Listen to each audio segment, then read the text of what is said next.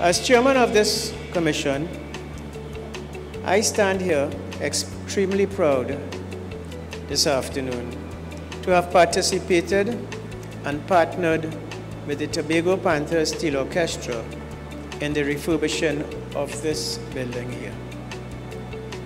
I'm also aware that the Tobago Pan-Thers Steel Orchestra's membership includes several young persons within this Golden Lane community. And therefore, I take this opportunity to ask the leadership of this orchestra to continue to use this pan theater as a center of excellence geared towards the empowering of our youths. Ladies and gentlemen, this pan theater will now be named the Tobago Pan-Thers Creative Arts Center.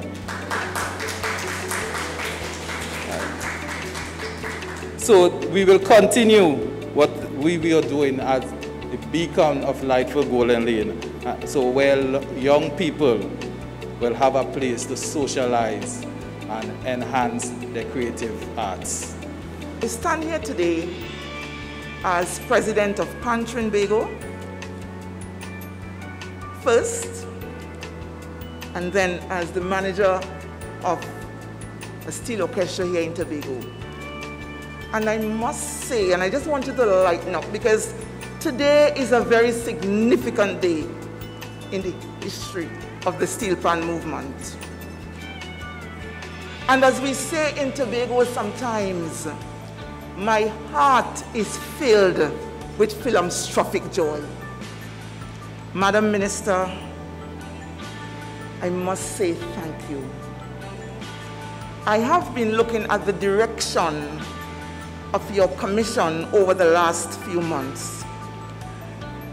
And from what I have seen, I really want to commend you. I know that a number of our bands have been receiving assistance quietly, and you have not been blowing your trumpet. But today is a day to sound the trumpet loud and clear. Well, I'm really excited to be here today this um, pan theatre, the people of Golden Lane would have benefited from doing, from, from, uh, from us putting male and female bathrooms here, installation of windows and doors, render walls and floors, office spaces new here, upgraded electrical system, and that was the initial works. And upon doing the assessment here, we recognized that you were having drainage problems and went ahead and, and fixed the drainage. Also created, built a brace wall to assist with uh, upholding the integrity of the building. So this is a part of our contribution, our investment in the people of Golden Lane because we recognize what this Pan Theatre has done and what we wanted to continue to do for the people of Golden Lane. This is all about our government vision 2030, putting people first, investing in communities, helping you to develop your resources and build your resistance. So with that said, I want to thank Self-Help for following the instruction and moving speedily ahead. And when one proposal came, I said, uh-uh, that ain't good enough, go back, do it again, make it better, please. So I want to thank you to the National Self-Help Commission.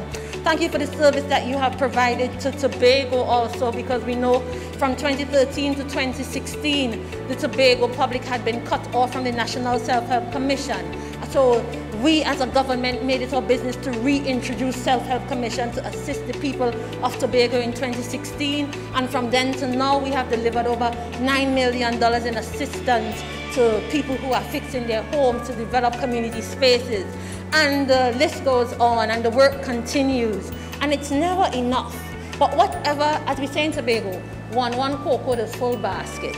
Whatever little contribution we can make, it's all towards developing the communities, developing our beautiful island of Tobago, and that investment in human capital. And that is what National Commission for Self-Help is all about. When it was developed so many decades ago, was to make people less dependent of the government so that all people could recognize that we have the power, we have the ability, we have the knowledge base so that we can be independent, we could contribute to our economy and help to build ourselves and to build each other. Whether it's individually or collectively. So here we are making this investment, building Tobago one community at a time and developing for our children a better and brighter future. So with that said, I will continue to do my part in making investment in contributing to the people of Tobago and I expect each and every one of you to do your part too and leave whatever you put your hands and heart on better than you met it. So I want to thank you all very much. God bless you. I expect great things out of this community facility and may God richly bless our nation. I thank you.